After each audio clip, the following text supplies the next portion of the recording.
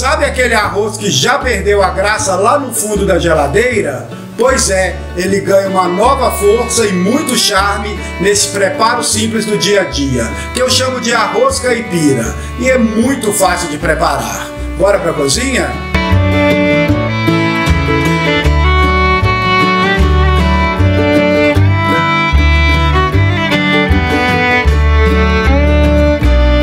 Para este preparo, vamos precisar de arroz pronto, de preferência dormido, azeite, bacon, alho, cheiro verde, aqui salsinha e cebolinha e sal.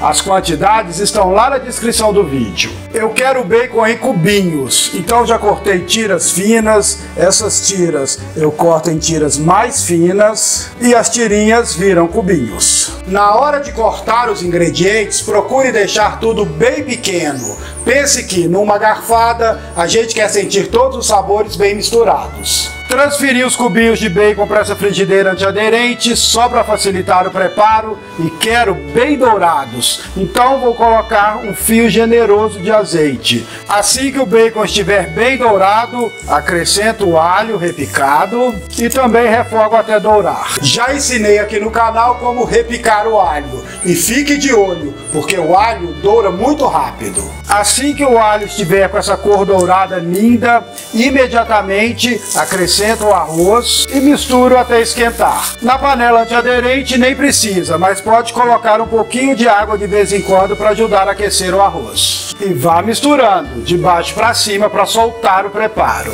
Arroz aquecido, já desliguei, experimentei e pede um pouquinho de sal. E por último, o cheiro verde, bem repicado, e é só misturar e servir.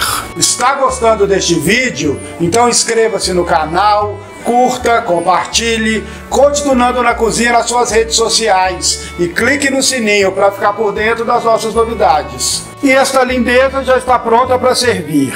Está uma delícia. O arroz caipira acompanha perfeitamente os preparos dessa cozinha tão rica, mas também vai muito bem com assados, no seu churrasco e com o que sua imaginação permitir. Até a próxima!